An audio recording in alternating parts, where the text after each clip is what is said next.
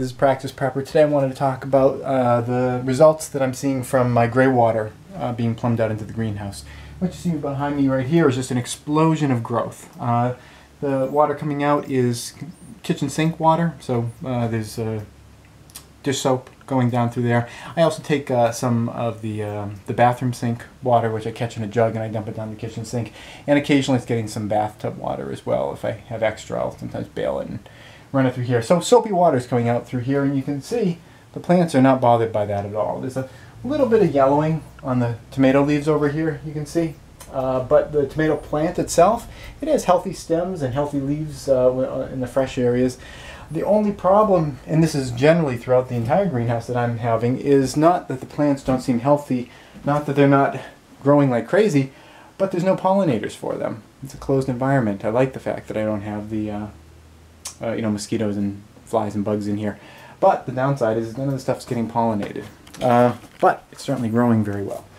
Over here uh, is another squash plant that's growing from the overflow from the, the goldfish pond. Large goldfish pond over here cascades down into a lower one. Uh, gravity siphons down into this bucket, which I can uh, use to fill up watering cans, things like that. I got a watering can right in the top there, which I use to you know water some of the areas that don't get hit with gray water. Uh, and then that uh, overflows off into this area, and you can see this area is doing really well also. I mean, a lot of this is just a lot of this is just weeds and things, uh, things I didn't plant. There's a, but there is a cantaloupe down at the bottom. There's a citrus tree. Uh, like I said, this squash plant that's growing up through here. So uh, that's really healthy. It's a really uh, this was all subsoil too. What these things are growing in, it was it was not good soil. It, uh, any of the nutrients is all coming out of the goldfish ponds, which I, I would imagine has a lot of uh, nutrients just with the nitrogen and everything uh, coming out with the fish's excrement.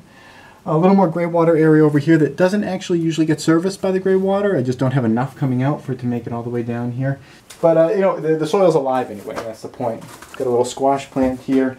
Uh, again, the flowers are not getting pollinated. Healthy plant, just not getting pollinated because it's in the greenhouse. The last plant down over here is a, uh, a rosemary plant, and I think that's the future of the, the, uh, the greenhouse in terms of the plants because uh, rosemary doesn't need to be pollinated to be useful.